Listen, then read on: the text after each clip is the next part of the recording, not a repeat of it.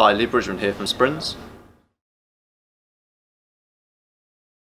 In this study, we were interested in investigating the relationships between concentric and eccentric squat strength and counter movement jump performance. To find the answer, we instructed 12 resistance trained men to complete a series of counter movement jumps, followed by a max squat test using the X-Bike squat device.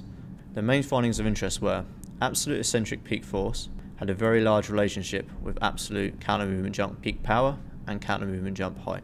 In addition, absolute eccentric peak force was found to have a moderate relationship with relative counter movement jump peak power.